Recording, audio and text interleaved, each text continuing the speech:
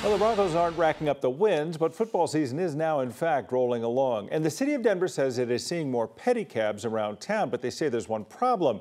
They say they're also seeing more unlicensed pedicabs. 9 News reporter Lauren Scafidi is outside Mile High tonight to explain the problems that, with that and what that could pose for you and what the city is going to do about it.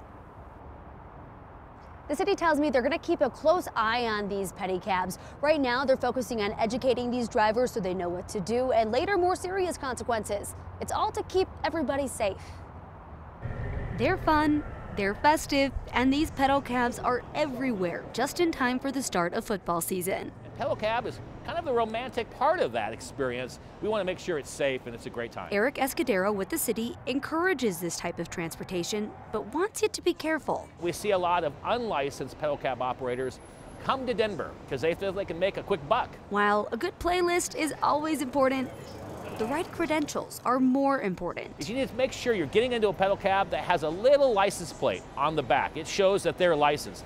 And also, they should have a badge displayed on their, on their chest that shows they're a licensed operator. That means pedal cab drivers passed their background check and they have insurance. Unfortunate events happen where maybe that pedal cab driver gets into an accident or something happens.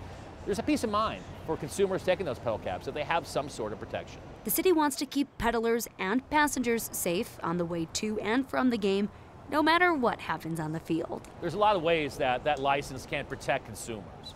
Uh, number one is we can hold a pedal cab operator accountable if they are violating where they're allowed to travel. Like there's some rules about traveling and traffic and where they're supposed to go. So if we see them operating illegally, the city can take enforcement action and revoke that license. If drivers are caught violating these rules, first this week it'll be a warning. After that, we're talking criminal citations. That could mean jail time and a hefty fine. If you are trying to get on a ride rideshare out of Mile High, all you have to do is come to gate 8 and then hop on the trail that'll take you to 5th and Walnut. Adam Powerfield, Lauren Scafidi, 9 News. Okay, all the details we need. Thanks you. Thanks, Lauren.